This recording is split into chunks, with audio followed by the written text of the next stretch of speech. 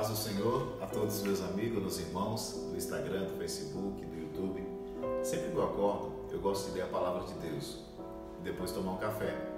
Tenho certeza que Jesus ele está nos observando a cada momento.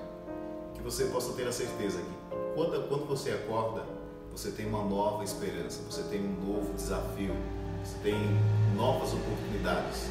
E essa é a questão. A quem você entrega a sua vida?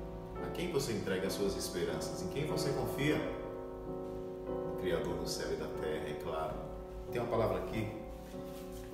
O Senhor é bom, é fortaleza no dia da angústia e conhece os que nele se refugiam.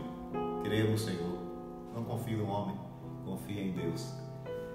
Tenha certeza que Jesus estará contigo nesse decorrer de dia ao chegar da noite.